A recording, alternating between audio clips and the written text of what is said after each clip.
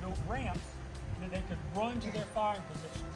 When you see the fort when we get to it, imagine the fort six to eight feet higher than it was than it is now. It was rebuilt in 1956, 73 years of erosion.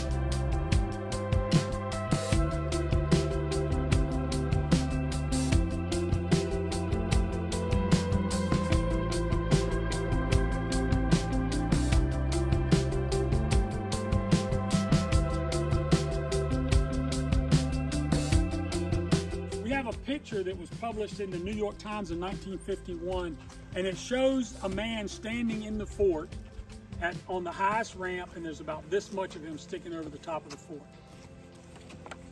And fortunately, the locals had preserved this site.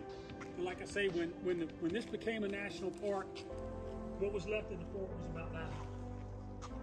That's one. That's one of the ways we know it